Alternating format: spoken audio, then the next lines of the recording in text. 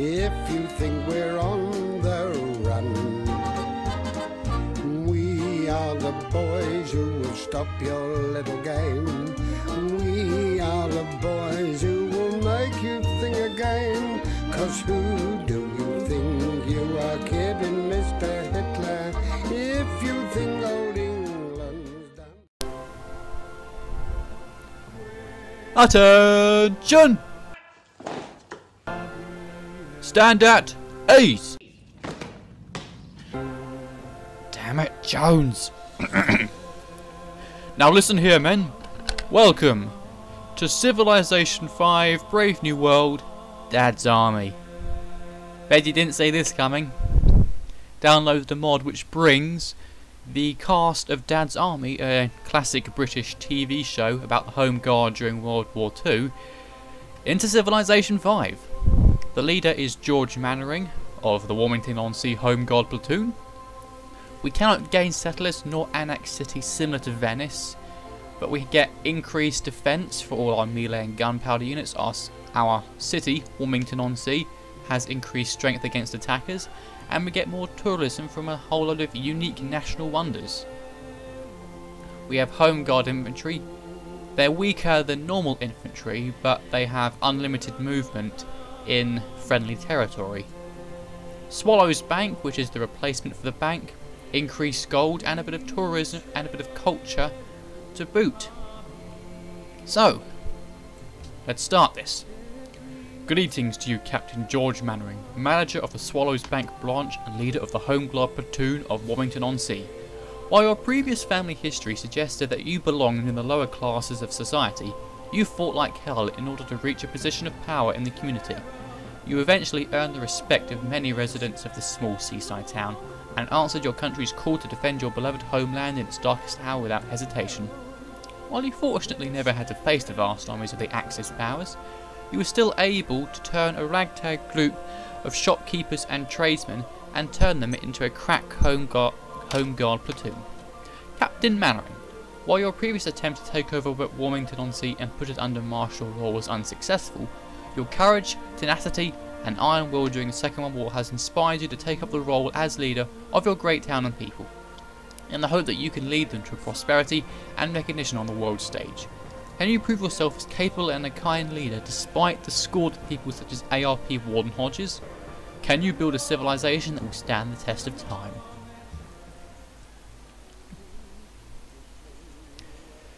Now, as you can see here, we are allied with the English.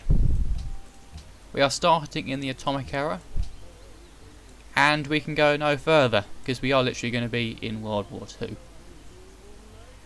Then again, I suppose the modern era.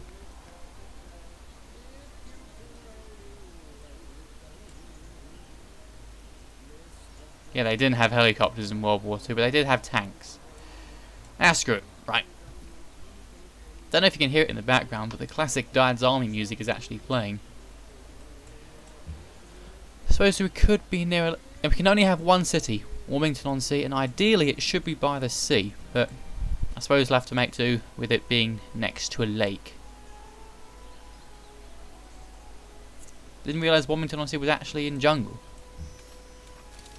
Let's actually have a look-see around.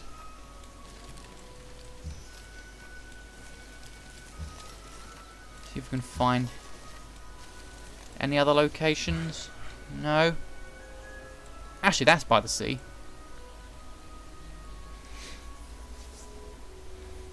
Hmm. We could lose a couple of turns to see if we can find a better location. Because we're on Pangaea, if you didn't see already. And we have five floats. Cheeseman, Desmond, Elgood, Jones and Walker. of course, Corporal Jones. And we'll definitely need him to start spying. He'll stick it right up him.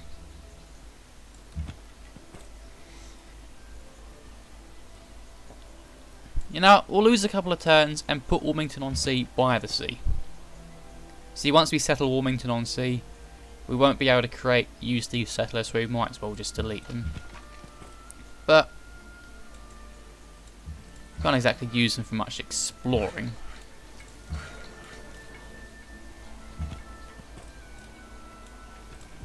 Oh, you never know. Right. So we've just got Queen Elizabeth of England, glorious England. As for technology, we are set to research... Oh yeah, we can't. No city. Now, it has been a while since I've played Civilization 5 properly, so I do apologise for any stupid errors or the like I end up making, or silly misunderstandings. It's been a little while. I will settle Warmington on Sea next turn. This will put us behind a little bit, but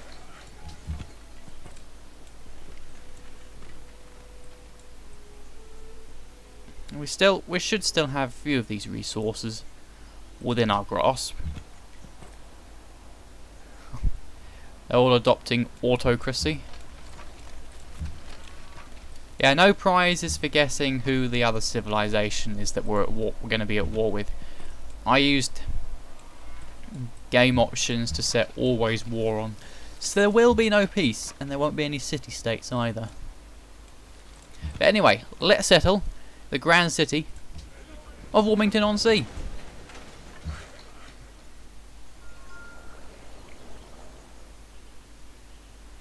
Oh, do we really want to remove jungle? Now we construct a trading post, but we will construct a well here. Get a bit of oil. As production, there we are. Home Guard Infantry. And where are they? And look at all these unique wonders. The Cricket Ground, Godfrey's Cottage, Jones's Butchers, Frazer's Workshop, Walker's Black Market. It's brilliant. I love this mod. And I think we'll want something that can help search the sea. So I think... Hmm, do you want to waste time building a submarine? Because I'm on a... We've, we're a few turns behind.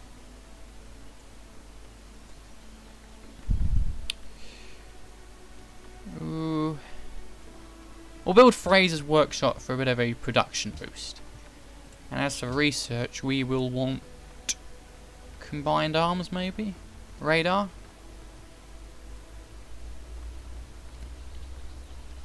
I've also got another mod which disables things like nukes, because I really don't want... There were no nukes until the end of World War Two. So I guess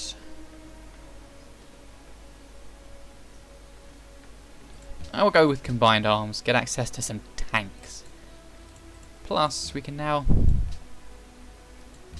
No.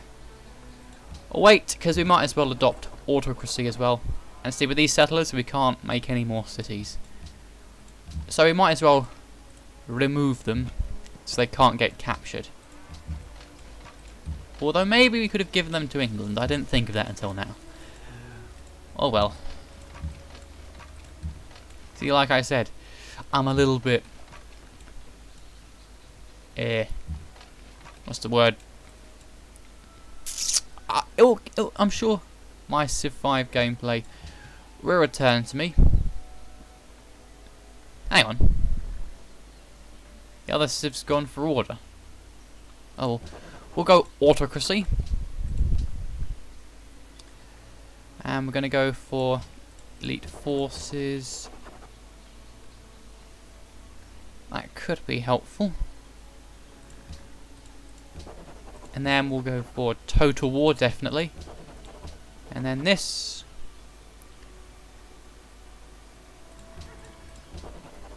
And then finally... The third alternative.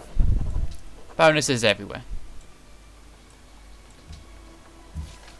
Now in case YouTube gets a little bit iffy with the music as it has been in the past with my Civilization Effect series. I will turn down the music just in case. Now I need to find our enemies and they seem to be a little bit of a distance away. The main problem is you can't see it right now, but the Dxtory frame rate thing is blocking my money income, or the top bit here. I should have moved it, but it's a bit late to do that now. I can do it later. Right, so we're going to settle your other two cities, England. We've got glorious London right down there. Definitely want to build a railroad to London. We found Mount Kidamenu, or however you pronounce it.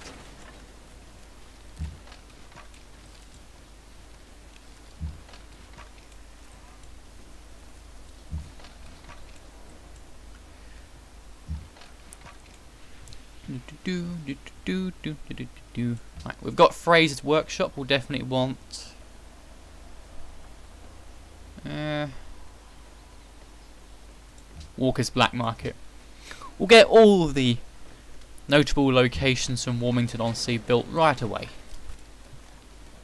George Mainwaring the Terrible. Next to build the cricket ground, the glorious cricket ground of Warmington on Sea, where they had their cricket game against the uh, Air, ARP Wardens. Ah, I want to get some more production for Warmington on Sea. And we can also do a workboat there to get those fish. Warmington on Sea is a seaside town. It needs its fishing and it also needs its tourism because, you know, seaside towns have tourism. And the Home Guard ability to ignore movement costs in friendly terrain. I believe that also counts for the terrain of allies, i.e. the people who are on the same team as you. So they definitely, you know, if you're able to get a whole load of territory... Oh, hello! We found them! Or at least I think we have. I think all fine eventually, but you can see that is a slightly different civilization. We just instantly cleared that forest. Wait, no. Do we have the money to buy? Oh, it's only 40 gold. Thank you, autocracy tenants.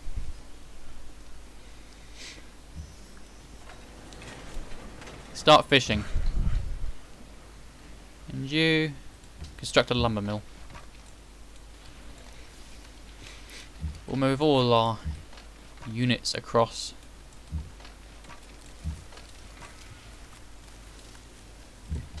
Still doesn't think we've found them. He's researching combined arms as well. Now we're able to build a submarine in one turn now. Let's build one and stop. Hello, hello, hello. What's this? We've found them. It's Hitler. Yep, I downloaded a mod which... This is only going to be a scout, so... Explore.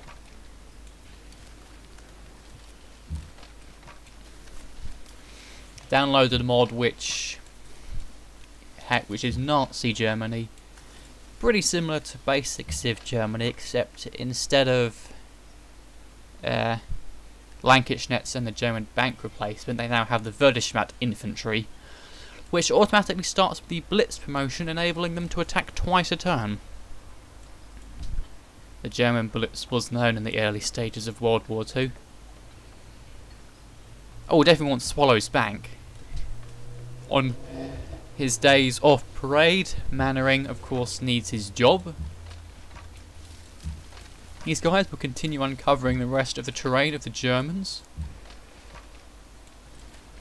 Come along now, men. For for England.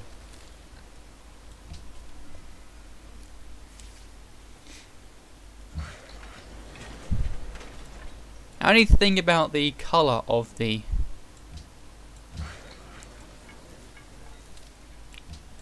uh, Warmington on Sea borders is it's quite difficult to see at times depending on the lighting. And I don't know if you can actually see it, but we've only just gotten to that iron. The borders are very... they blend in quite well. I've got a barracks. We'll definitely want... We'll build Jones's Butcher, and I think that's going to be Most of them. Next turn. And we could actually build the Warmington-on-Sea Navy and take over Munich that way. In the meantime, we'll surround it with these infantry that will move in as soon as we capture it. Right, choose production.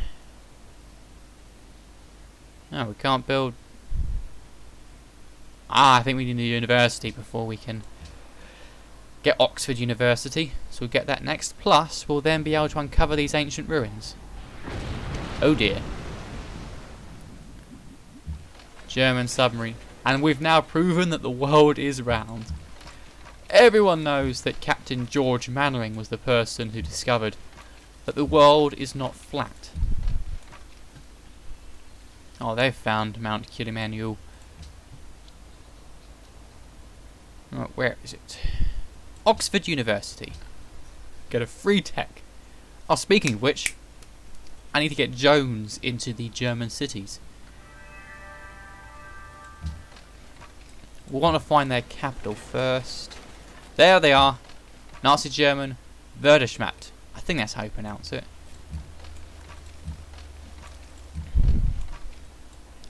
But we'll definitely want to get the spies in. Okay, Walker. Head to Munich. Cheeseman. Into Warmington on Sea. Got a free tech and we want we're all we're about to get combined arms, so we might as well get radar. I'll get a national college so we can crank out a bit more science. it's not imperative because there is no... It's domination victory only. Oh boy. The Verderschmatter here. Stand your ground. It's going to be able to attack over the city, but I'm sure that great British infantry will be able to take it. Warmington on Sea. You know what? We need to build us some home guard infantry. There'll be first section. Jones's section. Get penicillin. Here they come. Oh dear. Oh, look out. Here they are. Right, now you are going to be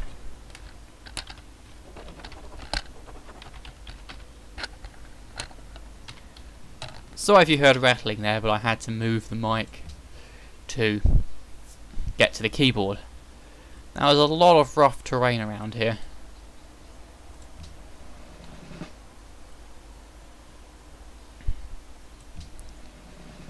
Ah, we can upgrade them to infantry. nah.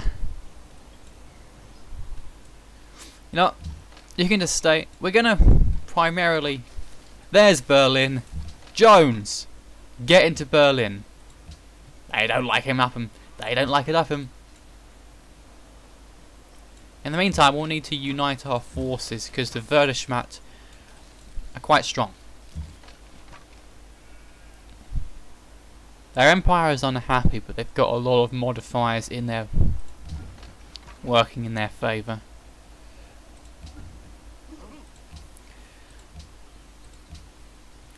Don't want any of those. Might as well take that. Fortified borders. Choose production. We're going to want to get a navy going, because that's probably going to be our almost ideal ideal fighting method for taking on the Germans because of the strength of their infantry. But I think it's time to draw this episode to a conclusion. I sincerely hope that you've enjoyed and that you'll join me next time where the war's gonna really start. I'll hope to see you then. Mr. Brown goes off to town on the A21, but he comes home each evening and he's ready with his gun. So who do you think you are kidding, Mr. Hitler?